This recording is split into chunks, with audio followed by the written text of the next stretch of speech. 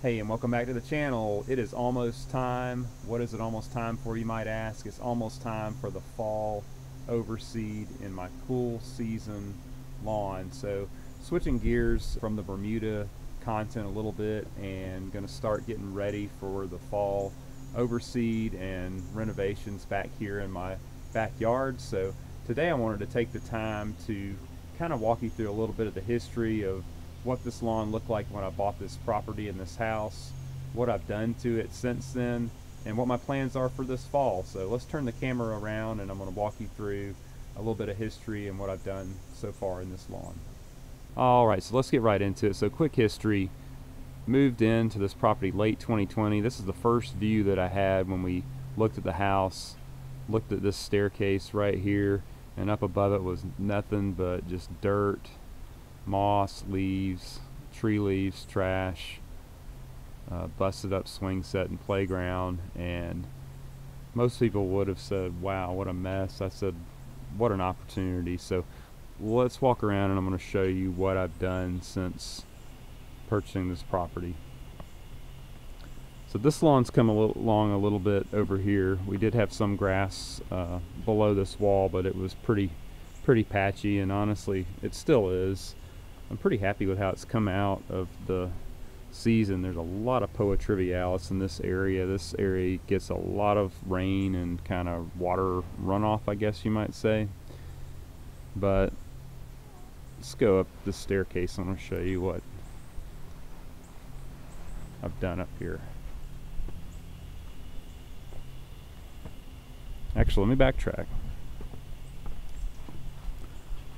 Try to lace in some pictures of this um, wall. When I first bought the house, this wall was just covered. It had moss all over it. it looked like some sort of ancient ruin. So one of the first things I did before I did anything to the lawn is I got the power washer out and just gave it a good good power wash and this is what it looks like a year later still looks really good these shrubs are gardenias and look how big they are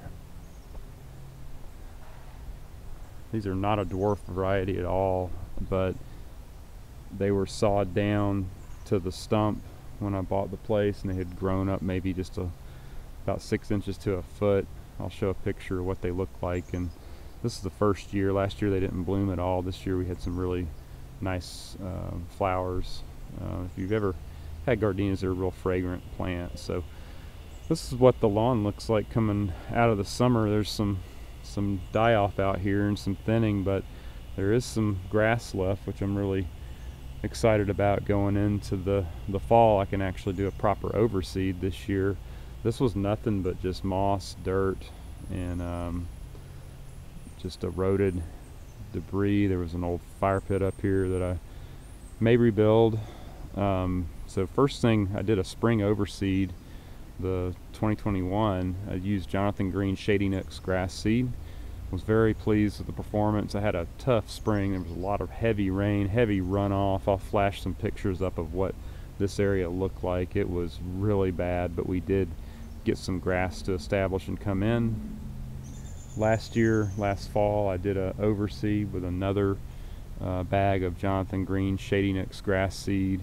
I reset the posts, bought two new posts and reset for this swing. I'm no carpenter, doesn't look perfect, but got it cleaned and stained. I'll show a picture of what this looked like when we bought the place. First thing I did when we moved in, my kids needed somewhere to play, so uh, true story. So me back up a little bit. So interesting story. So yeah, this thing was was crooked and busted up.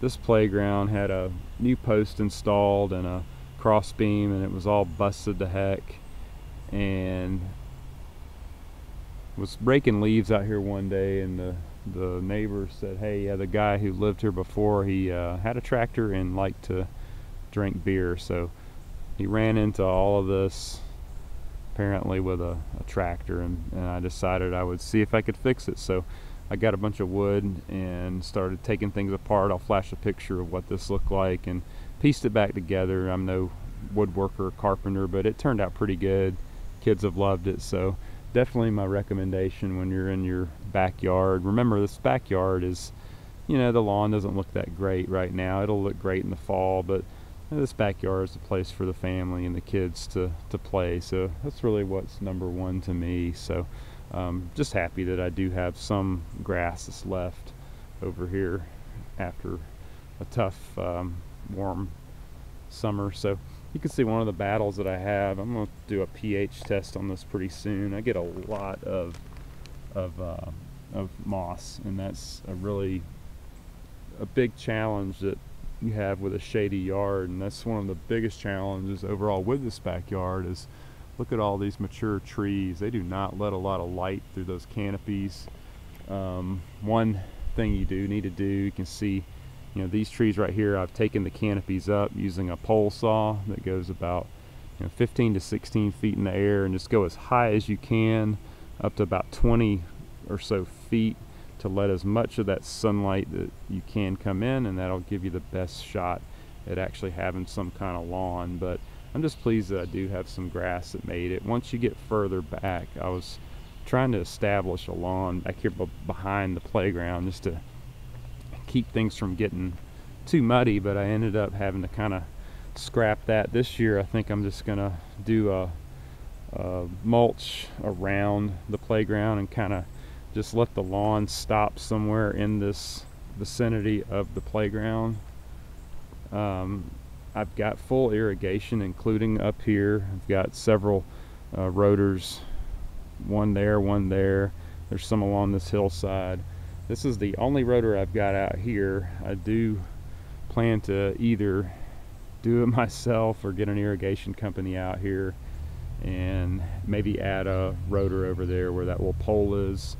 Right now I'm kind of looking at bringing my lawn border right around here. That's where I think it used to be. And then kind of looping it through this way. And I think I want to do another sitting fire pit area one of the challenges I also have in this yard is you kind of see I've got a negative slope, I guess, going towards my house. That's why the retaining wall was put in in the first place. Um, this area gets a lot of water, storm runoff.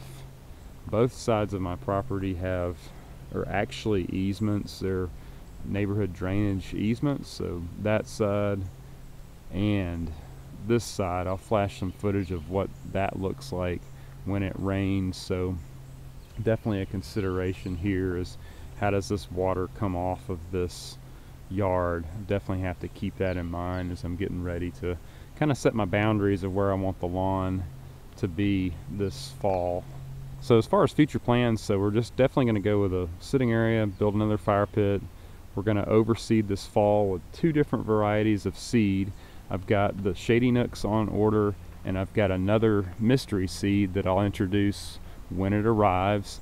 I've got something that's going to help, I think, with some of these areas, like right above this wall, right above this part of the wall, and then below the wall, we end up getting a lot more sun than I originally had thought. So I'm going to use a different variety of cool season grass, and I'll show you that in an upcoming video.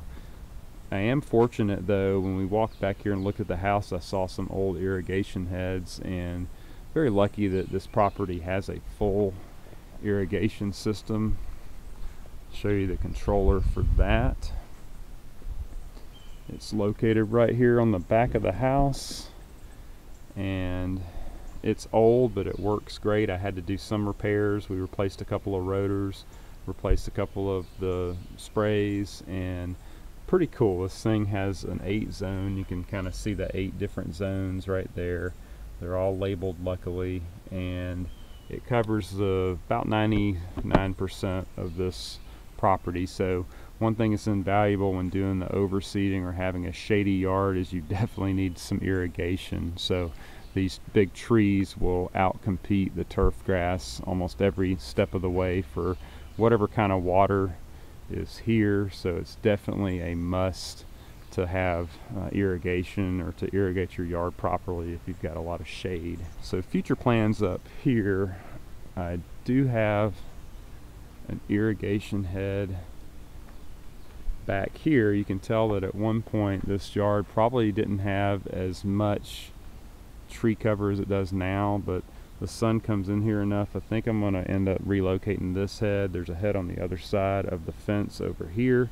I want to bring those in a little bit, maybe make a landscape area here.